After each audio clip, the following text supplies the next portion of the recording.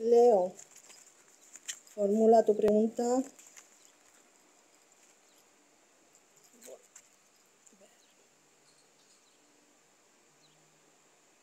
Si un cerdo llega a tu vida, es fuerza.